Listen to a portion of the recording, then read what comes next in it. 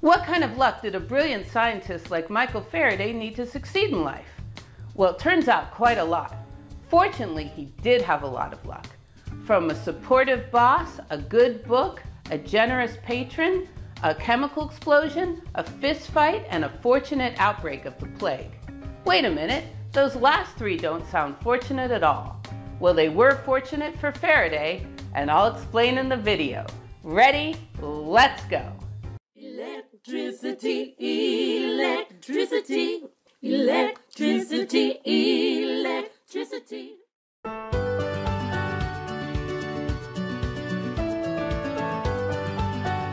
Michael Faraday seemed an unusual person to change the world. He was born in 1791 to a mostly out-of-work blacksmith in the slums of London.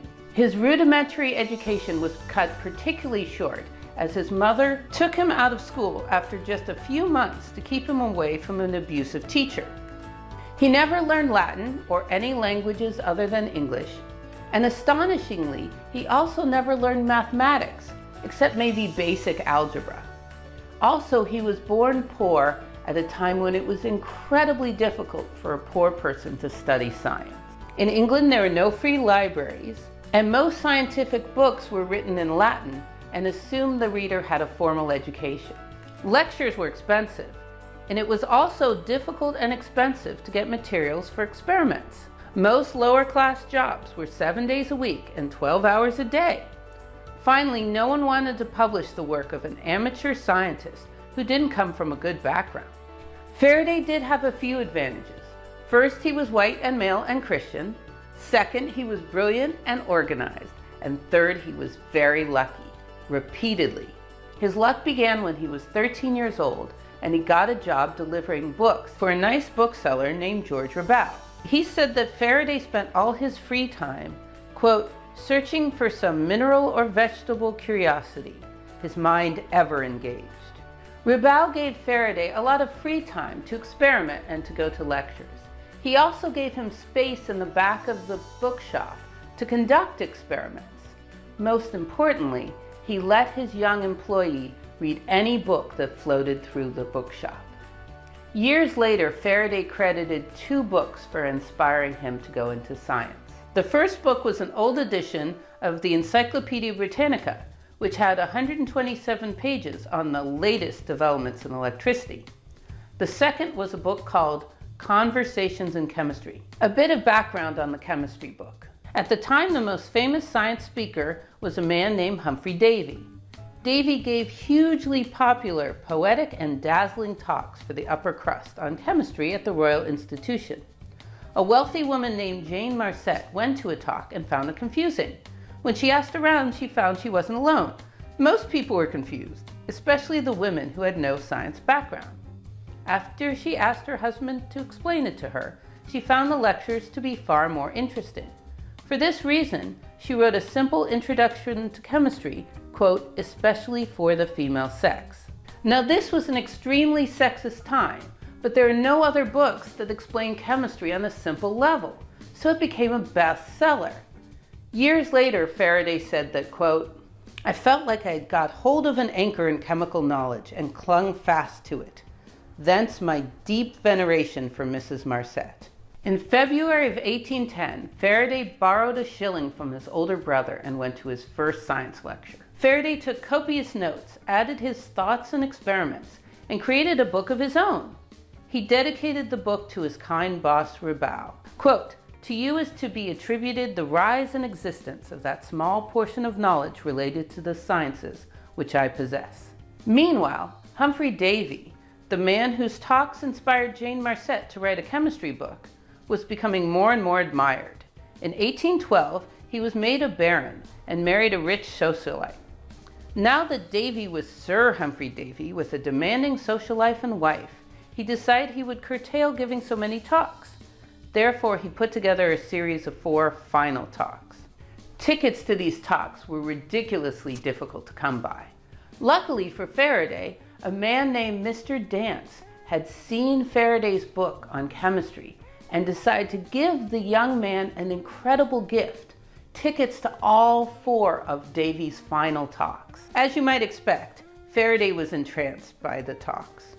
It took him about five months afterwards to collect enough money to recreate Davy's experiments creating gases with a homemade battery. He wrote to a friend about his adventures. Quote, I, sir, I my own self, cut out seven discs of zinc of the size of halfpennies each. I, sir, covered them with seven halfpence, and I interposed between them paper soaked in salt water. Faraday then placed the ends of the battery in a solution of salts and noted that, quote, both the wires became covered in a short time with bubbles of some gas.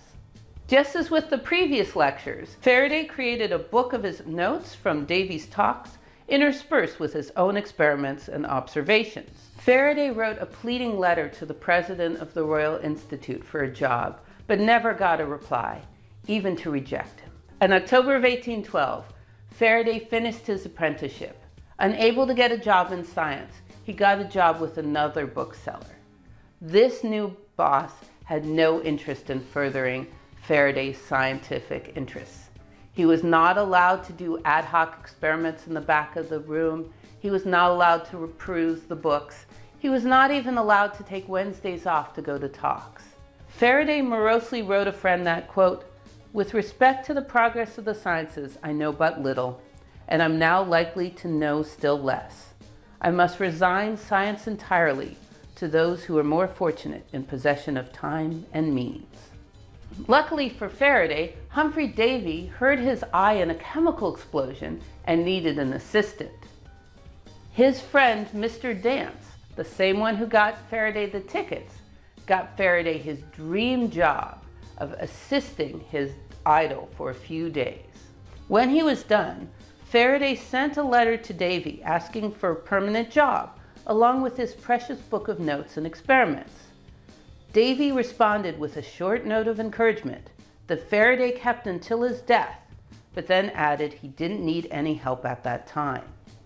Once again, Faraday had a spot of luck as one of Davy's assistants got in a fight with an instrument maker and was fired. Finally, Faraday was working in science. Whew! Faraday quickly proved to be an able assistant, and Davy began to rely on him more and more. The following year, Davy became so famous that he and his wife were given special passports by Napoleon to travel to Europe, even though there was a 20 year long war between England and France. When Davy's personal valet refused to visit the enemy, Davy asked Faraday to join them as an assistant and temporary valet. Faraday was nervous about the trip. He'd never been outside of London, and he also had a bit of a distaste for being a servant, but he decided to join in on the adventure. Through Davy, Faraday met all of the important scientists of France and Italy, and it was said that, quote, we admired Davy, but we love Faraday. Faraday found his time with Davy to be endlessly educational. Quote, the constant presence of Sir Humphrey Davy was a mine inexhaustible of knowledge and improvement. Although Faraday got along very well with Davy, the same cannot be said of Davy's wife Jane. Jane Davy was from the upper crust of society and did not like associating with someone from a poor background like Faraday. Faraday complained that Jane Davy, quote, delights in making her inferiors feel her power. Once, when they were on a perilous sea voyage in the Gulf of Genoa, Mrs. Davy became too ill to speak. Faraday wrote to a friend that it was worth the danger to their lives just to enjoy her silence. Their relationship hit its lowest point when the boat landed and they were invited to dinner with Mrs. Jane Marcet and her husband. This was the same Jane Marcet who wrote the Conversations in Chemistry that inspired Faraday in the first place. At the dinner, Davy's wife, in front of the assembled guest, told Faraday that he should eat dinner in the kitchen with the other servants.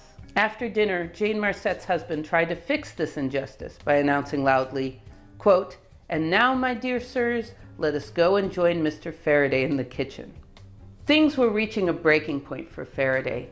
He wrote a friend, quote, Alas, how foolish was I to leave home, to leave those whom I loved and who loved me.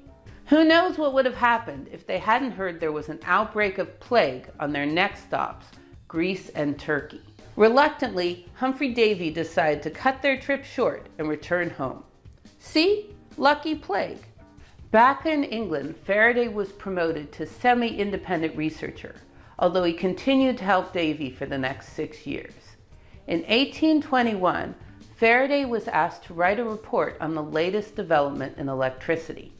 As was his way, he read all of the experiments he could find and recreated them, including a very strange experiment conducted in Denmark where current in a wire moved a compass needle in a most unusual way. This experiment that proved that electricity affected magnetism was to transform Faraday's life and the world.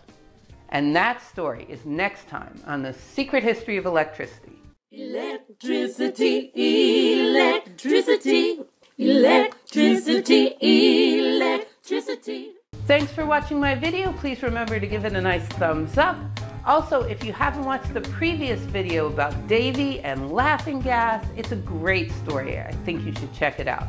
And also check out the next one about Oersted and his experiments with current in a wire and magnets.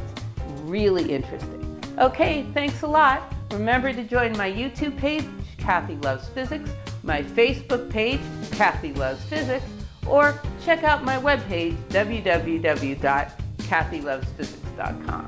Okay, have a nice day.